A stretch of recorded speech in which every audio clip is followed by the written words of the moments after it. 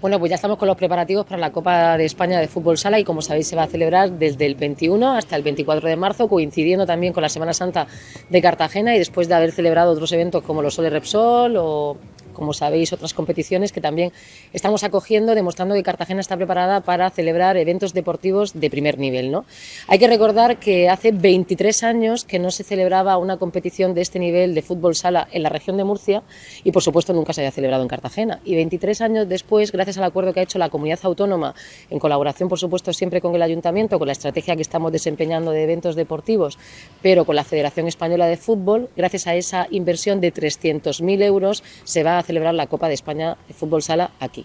Y la Federación, después de hacer la visita, eh, lógicamente a las instalaciones deportivas de Cartagena, en concreto al Palacio de Deportes, nos requirió ciertas mejoras para poder acoger este evento con las máximas comodidades y también pues, para poder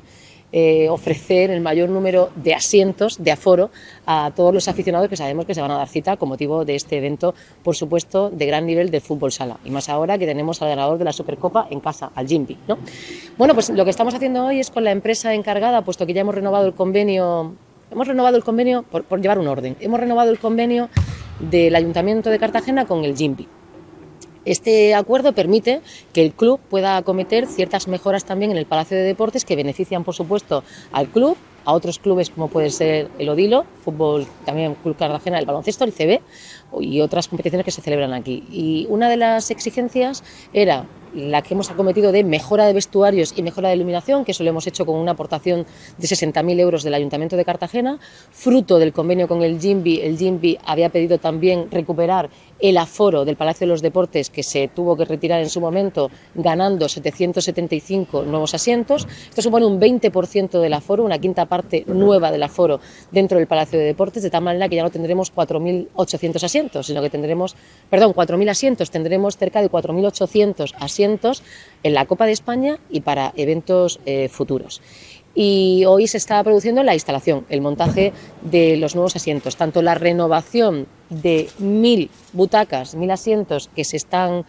eh, mejorando con asientos nuevos para mantener la, estética y por supuesto para recuperar el resto del anillo de la grada inferior y 775 nuevos asientos. me comentaban que ya han acometido las mejoras de la iluminación, además de la renovación de la iluminación Habrá eh, un espectáculo de luces eh, aprovechando el evento de la Copa de España de Fútbol Sala, también las mejoras de los vestuarios que ya se han realizado y por último, pues estos días está la empresa especializada haciendo el cambio de las butacas antiguas y la incorporación de las nuevas para tener el aforo con el que se construyó inicialmente, que estaba previsto inicialmente en el Palacio de Deportes.